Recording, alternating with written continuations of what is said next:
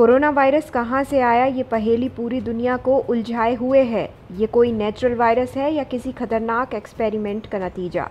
इन सवालों का जवाब वैज्ञानिकों से लेकर तमाम सरकारें तलाश रही हैं। अमेरिकी राष्ट्रपति के जाँच के आदेश के बाद एक और सनसनीखेज खुलासा हुआ है। दावा किया गया है कि कोरोना वायरस को चीन के वैज्ञानिकों ने वुहान लैब में ही तैयार किया था। वैज्ञानिकों ने वायरस पर एक यूनिक फिंगरप्रिंट मिलने का भी दावा किया है। जिसके बाद एक बार फिर चीन सवालों के घेरे में है। आइए आपको बताते हैं किसने की है ये रिसर्च और इसमें क्या दावे किए गए हैं।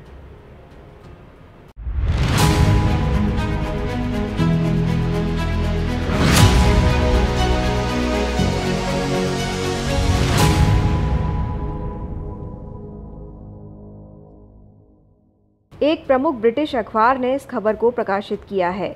खबर में बताया गया है कि कोरोना वायरस को लेकर एक नई स्टडी सामने आई है, जिसमें यह दावा किया गया है कि चीनी वैज्ञानिकों ने वुहान लैब में ही कोविड 19 को तैयार किया था। जब संक्रमण फैल गया तो वायरस के रिवर्स इंजीनियरिंग वर्जन से इसे छिपाने की कोशिश की गई, जिससे दुनिया को लगे कि नेचुरल तरीके से चमगादड़ से ये वायरस आया है। ये study British professor Angus Dalgleish और नार्वे के वैज्ञानिक डॉक्टर बिरगर सोरेनसेन ने की है। British professor Angus Dalgleish London में सेंट जॉर्ज यूनिवर्सिटी में कैंसर विज्ञान के प्रोफेसर हैं, जबकि नार्वे के वैज्ञानिक डॉक्टर सोरेन सेन महामारी विशेषज्ञ हैं।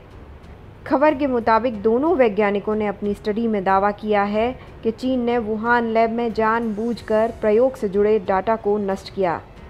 डाटा से छेड़छाड़ की गई और उसे छुपाया गया। वैज्ञानिकों का दावा है कि प्रथम दृष्टया उनके पास एक साल से भी अधिक समय से चीन में कोरोना वायरस के रेट्रो इंजीनियरिंग के सबूत हैं। परंतु उनकी स्टडी को कई एकेडमिक्स और प्रमुख जर्नल ने अनदेखा कर दिया।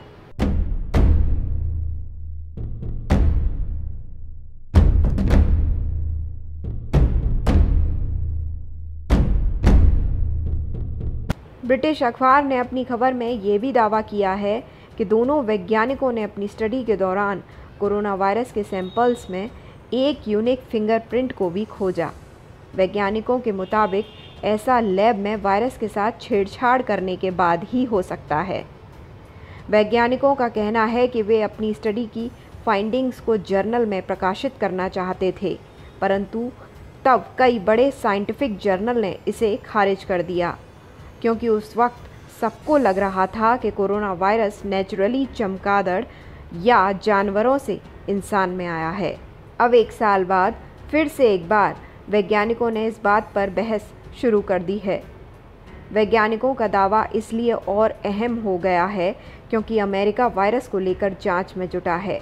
हाल ही में अमेरिकी राष्ट्रपति जो बाइडेन ने अपनी खुफिया एजेंसियों को 90 दिन के भीतर एक जाँच रिपोर्ट पेश करने का निर्देश दिया है। इसमें कोरोना की उत्पत्ति और लैब की थ्योरी की जाँच भी शामिल है।